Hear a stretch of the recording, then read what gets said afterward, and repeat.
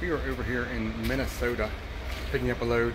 Um, we dropped the trailer and you can see behind me we're getting a load of glass, glass windows or something like that.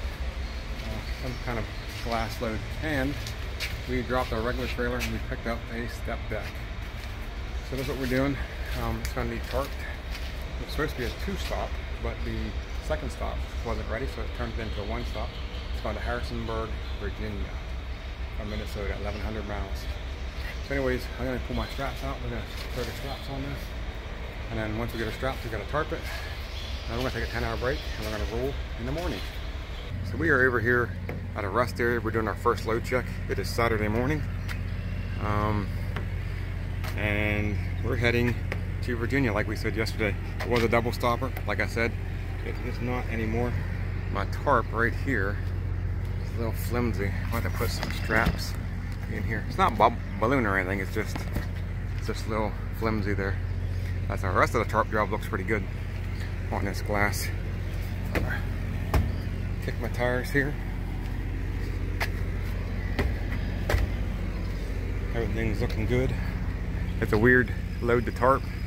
Uh, the black tarp in the front's something to be desired. But it'll work, I guess. Like I said, tarp job not too awful bad. Um, everything's looking good. We're gonna try to get down the road, get about nine hours. We're still running on recaps. Here's my black tarp. It's something to be desired. I tried to tarp it like a coil. That did not work out. I didn't have enough room on that upper deck to do that.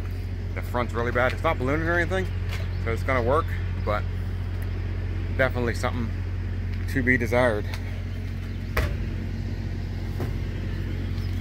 Just gonna kick tires, make sure everything's good. We're ready to roll. That's my first load check. And now we got about 120 or so miles to go. We're gonna do a second load check. Get some showers and keep on rolling. We are in Crawfordsville, Indiana, and we have shut down for the day. It's Saturday evening. Uh, we ran, I don't even know, eight and a half, nine hours today. Uh, maybe a little bit more than that. Uh, and running on recaps, and we're gonna, we was planning on delivering this load. I had every intention to deliver this load on Monday. Ran into a little trouble. I took the wrong route and ended up losing like an hour and a half maybe even two hours off my 70. And now we're gonna be really close. I don't think we're gonna be able to deliver on Monday now because of that. Uh, we were gonna be close to begin with. Um, I don't know. So we ran 540, 47 miles, I think it was today, 74, 574. And we still got 539 miles to go tomorrow. I think it's gonna take us about eight or nine hours to do that. When that's done, we're only got about two hours left on our 70 we pick up seven. That leaves us nine, and we're still going to have two and a half, three hours to drive to get to the destination.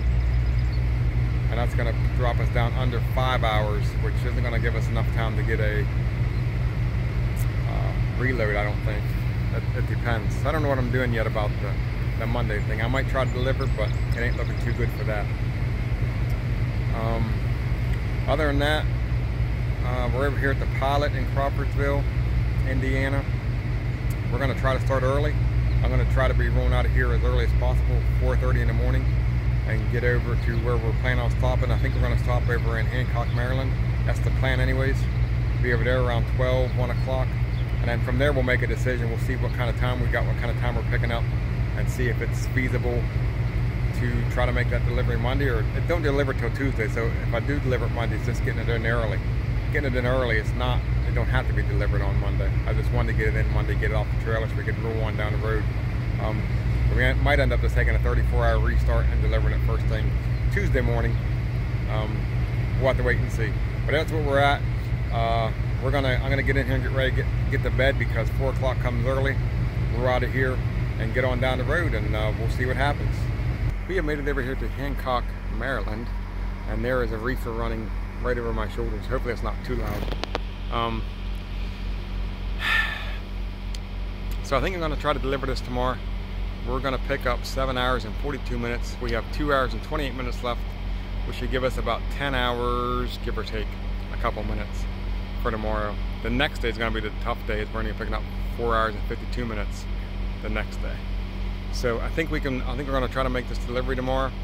Um, we're still two hours away, so two of them hours we're going to burn up. So whenever we get there, we're only going to have what about eight hours, seven and a half hours, which still gives us enough time to go get a reload, and then we'll deal with the four, basically five hours we're going to pick up the next day, if and when we get reloaded. So we drove 542 miles over here to Hancock, uh, shutting down, calling it a day for now, and get ready to make this delivery in the morning unless something changes, which I don't see anything changing. Um, yeah, that's where we're at. So uh, get up in the morning. We're out of here around probably five. Just give me a little bit of a window to get down there and uh, make sure I'm there by say eight if I'm going to be at 7, then we might leave at 4. I don't know what time I want to be there. I got to double check what time I can be there. But that's the plan. That's what we're going to do. And uh, we'll go from there.